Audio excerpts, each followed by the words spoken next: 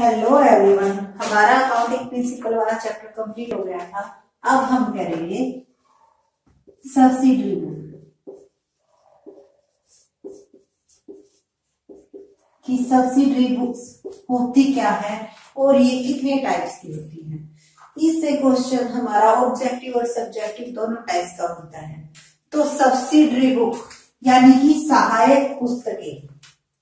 Subsidiary books वहाँ पर use होती है, जहाँ पर बिज़नेस का जो आकार बड़ा होता है। अब बिज़नेस के आकार से मतलब क्या है? बिज़नेस के आकार से मतलब है जहाँ पर ट्रांजेक्शन की नंबर ऑफ़ ट्रांजेक्शन ज़्यादा होते हैं, उसे हम बिज़नेस ये मानते हैं कि वो बिज़नेस बड़ा है। तो जहाँ पर मोर ट्रांजेक्शन होंगी वहाँ पर क्या यूज़ होगी? सब्सिडरी बुक्स और जहाँ पर लेस ट्रांजैक्शन होगी, वहाँ पर क्या यूज़ होगी? जर्नल देखो, अगर कम ट्रांजैक्शन है तो अकेले जर्नल से काम चल जाता है। लेकिन अगर ट्रांजेक्शन ज़्यादा है तो वहाँ पर हमें सब्सिडरी बुक्स बनानी पड़ती हैं। सब्सिडरी बुक्स का मतलब है सहायक पुस्तकें। यानी कि जर्नल को एट पार्ट में डिवाइड कर दिया जाता है। एट सब्सिडरीज बुक होती है और ज़रूरी नहीं है कि एट की एट बनाई जाए। जी नहीं, वो अकॉर्डिंग टू बिज़नेस की जो नीड है, उसके अकॉर्डिंग हम कम या पूरी की पूरी फुल रख सकते हैं। अगर हमारा जो सारा का सारा काम कैश में हो रहा है तो हमें सिर्फ़ कैश बुक बनाने की ज़रूरत है। और कोई बुक बनाने की ज़रूरत होगी ही नहीं। लेकिन प्रॉब्लम कहाँ आती है? जब कैश क्रेडिट दोनों में काम होता है तो हमें क्या होगा? क्रेडिट में अगर हमारा परचेज या सेल हो रहा है तो उसके लिए हमें कई बुक बनानी पड़ती है। चलो पहले उनके नाम लिख लेते हैं कि कितने टाइप्स की होती है सब्सिडरी बुक्स कौन कौन सी हैं? तो जो सब्सिडरी बुक्स है, सबसे पहले है कैश बुक सेकंड है परचेज बुक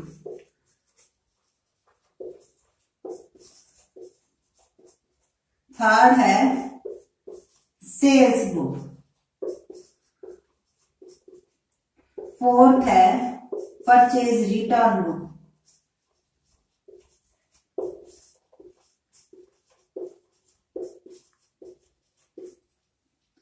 फिफ्थ है सेल्स रिटर्न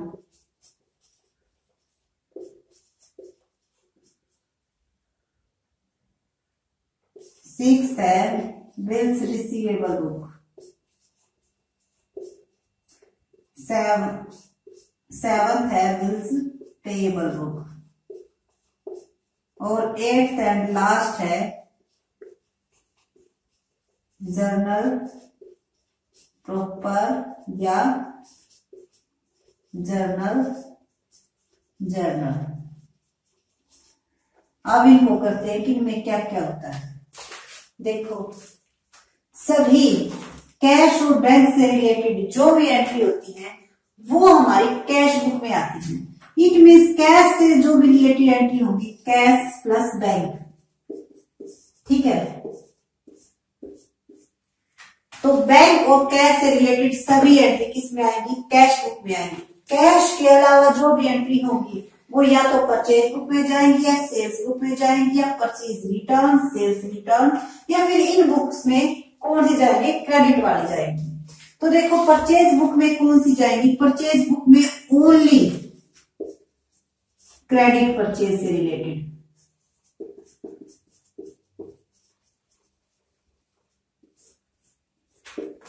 तो देखो, ये क्वेश्चन कई बार पूछा जाता है कि परचेज बुक्स में कौन सी ट्रांजेक्शन जाती हैं? तो परचेज बुक में तो ओनली क्रेडिट परचेज ट्रांजेक्शन जाती है बट परचेज अकाउंट में क्रेडिट परचेज और कैश परचेज दोनों जाती हैं। और यही मेन डिफरेंस होता है परचेज बुक और परचेज अकाउंट में, जो हम आगे करेंगे। लेकिन यहाँ पर हम ये जान लेते हैं कि परचेज अगर बुक आ गया ना तो ओनली क्रेडिट परचेज इसके अंदर जाएगा। उसके बाद इसी तरह सेल्स बुक में भी ओनली क्रेडिट सेल यानी कि अगर हमने क्रेडिट सेल किया है तो उससे रिलेटेड जो भी ट्रांजेक्शन है, वो हमारे सेल्स बुक में जाएगी। Purchase return book purchase return देखो, इसका एक नाम आ जाता है, वो बहुत ही इंपॉर्टेंट है। परचेज रिटर्न ना देकर हमें क्या दे दिया जाता है? रिटर्न आउटवर्ड देखो, इसे हम किस तरह से याद रख सकते हैं? परचेज किया हमने सामान खरीदा, लेकिन हमें वो पसंद आया, यानी कि उसकी क्वालिटी वैसी नहीं थी जैसे हमने पहले बताया हुआ था, या फिर क्वांटिटी में कोई कमी है, कुछ भी मतलब उसमें कुछ डिफेक्ट है। तो उसे हम वापस कर रहे हैं। वापस करना यानी कि परचेज किए हुए माल को अगर बाहर कर रहे हैं तो उसका मतलब क्या हुआ? आउट करना। यानी कि रिटर्न आउटवर्ड किसे कहेंगे हम? परचेज रिटर्न को। और मोस्टली क्वेश्चंस में परचेज रिटर्न न देकर रिटर्न आउटवर्ड दिया जाता है। तो हमारे परचेज रिटर्न में क्या आता है? ओनली जो परचेज रिटर्न कर रखे ओनली क्रेडिट परचेज रिटर्न। ठीक है? ये याद रखना। क्रेडिट आएगा हमेशा। कैश वाली कोई भी ट्रांजेक्शन हो परचेज से हो सेल्स से हो परचेज रिटर्न से सेल्स रिटर्न से, सारी की सारी किसके अंदर चली जाती है? कैश बुक के अंदर चली जाती है। ये बहुत ही इंपॉर्टेंट है, याद रखने वाली बात। और सेल्स रिटर्न को क्या बोलते हैं? रिटर्न इनवर्ड देखो इसका नाम कैसे याद रख सकते हो? रिटर्न इनवर्ड सेल्स करेंगे। सेल्स कर रहे तो सामान बाहर जा रहा है। अगर वही सामान हमारे पास वापस आ रहा है तो इसका मतलब इन हो रहा है। यानी कि फर्म के अंदर आ रहा है तो वो क्या होगा रिटर्न इनवर्ड्स इसमें क्या आता है? इसमें इस बुक में आता है only credit sales return transaction यानी कि इस बुक के अंदर किन की एंट्री होगी, जो क्रेडिट सेल्स रिटर्न हुए हैं। उसके बाद है बी आर बुक और बीपी बुक बी आर का मतलब बिल्स रिसीवेबल बुक देखो, हमने सामान कैश या क्रेडिट में सेल या परचेज किया। अगर हम क्रेडिट में क्रेडिट पर सामान सेल कर रहे हैं तो वो एक हमारा, हमें क्या करता है? वो कहता कि भाई, इतने टाइम पीरियड के बाद हम आपको पैसा लौटा देंगे। वो एक प्रोमिसरी नोट या बिल ऑफ़ एक्सचेंज लिख कर हाँ, लिखते हम हैं वो उससे क्या करवा लेते हैं साइन करवा लेते हैं इतने टाइम पीरियड बाद आप हमें अमाउंट दे देना। तो उसे कहते हैं बिल्स रिसीवेबल ये हमारे लिए किसका काम करती है? एसेट्स का काम करती है।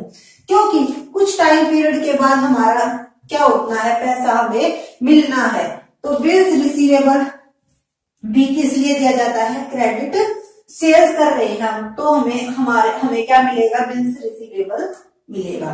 और बिल्स पेएबल किसके लिए काम करता है? लाइबिलिटी के लिए। जिस तरह से आपने सामान बेचा उधार पे तो हम उधार पर सामान खरीद कर उन्हें बिल ऑफ़ एक्सचेंज लिख कर दे सकते हैं। तो उसे बोलते हैं बिल्स पेएबल और उनकी, उन ट्रांजेक्शन की जो एंट्री होती है, वो होती है हमारे बिल्स पेएबल बुक में। उन्हें हम हुंडी भी बोलते हैं। पहले उन्हें हुंडी बोला जाता था, लेकिन अब उनका नाम क्या किया जाने लगा? बिल ऑफ़ एक्सचेंज मतलब इंडिया में उनका जो फ़र्स्ट वर्ड यूज़ किया जाता था, वो किया जाता था हुंडी। हुंडी के नाम से नज़ारा जाता था किसी बिल ऑफ़ एक्सचेंज को। ठीक है? उसके बाद जर्नल प्रॉपर जर्नल प्रॉपर में कौन सी ट्रांजेक्शन आएँगी? जो ट्रांजेक्शन इन सातों की सातों बुक्स में नहीं आई, वो ट्रांजेक्शन हमारे जर्नल प्रॉपर में आएँगी। तो वो ट्रांजेक्शन कौन सी हो सकती है? हमें क्या दिया जाता है? एग्ज़ाम्पल भी दिया जाता है और ये पूछा जाता है ये ट्रांजेक्शन किसमें आएगी। देखो, मान लो एक्स से मशीनरी परचेज की। ठीक है?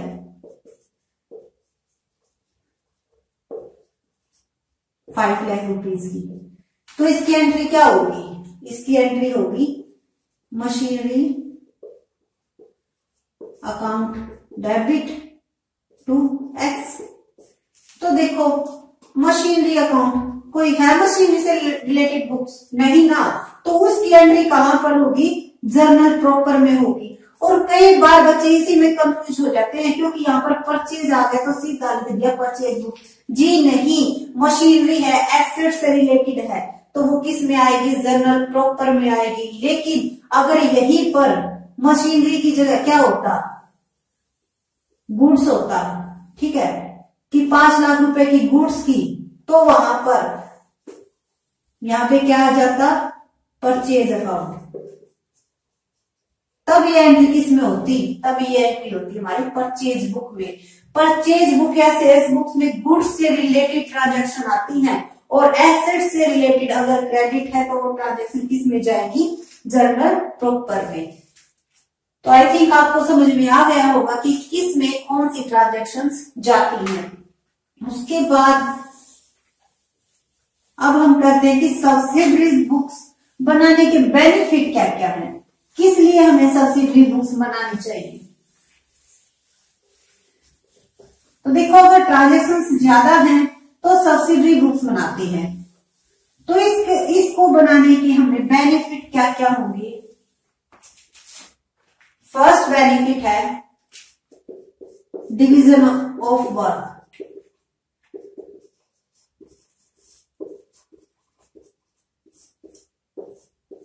division of work according to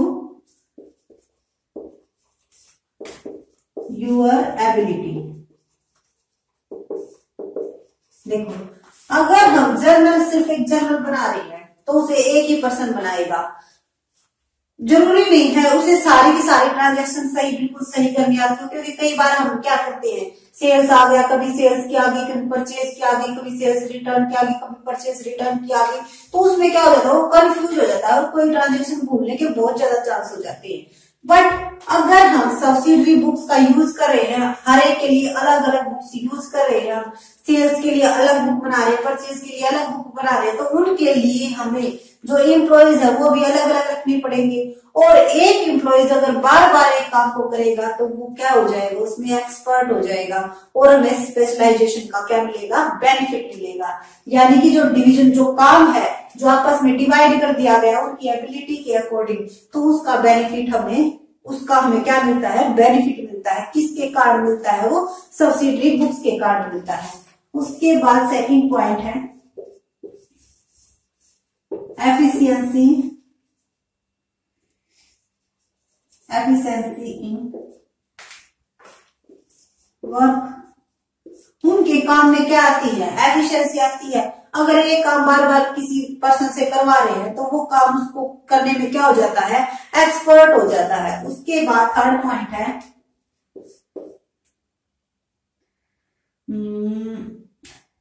create responsibility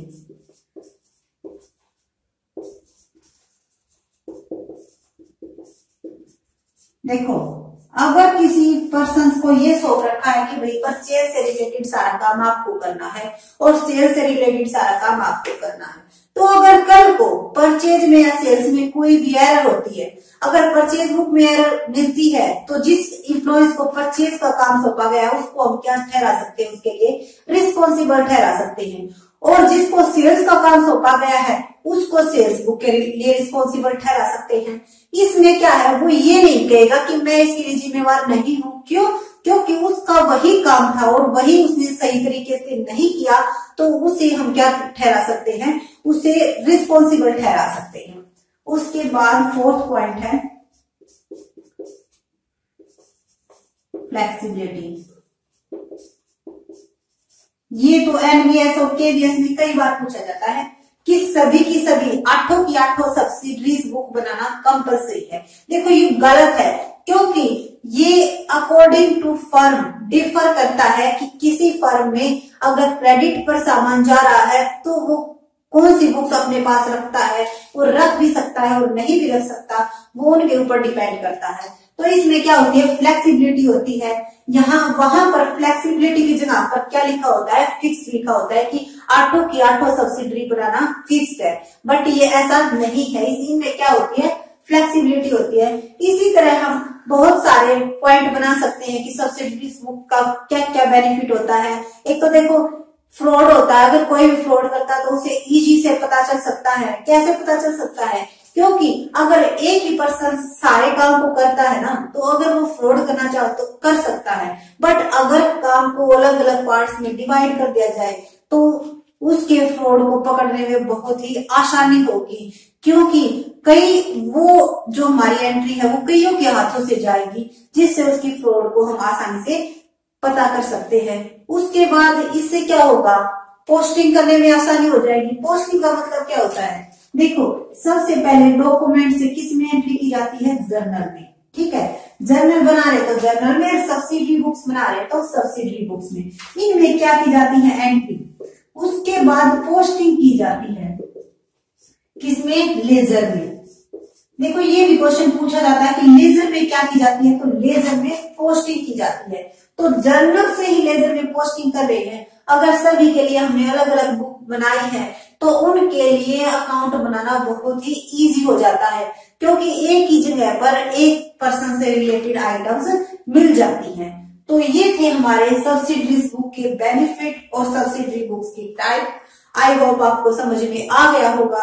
और प्लीज़ इसको बिल्कुल ये मत मानिए कि बिल्कुल इजी चैप्टर है तो इसे आप नहीं करो। जी नहीं। जो भी चैप्टर करो, बहुत डीपली करो कि कल को अगर इसमें से, क्योंकि इनमें से भी क्वेश्चन बनते हैं। ये नहीं कि इनमें से क्वेश्चन नहीं आते आते हैं और आप गलत भी करते हो, क्योंकि इजी मानकर इनको छोड़ देते हैं।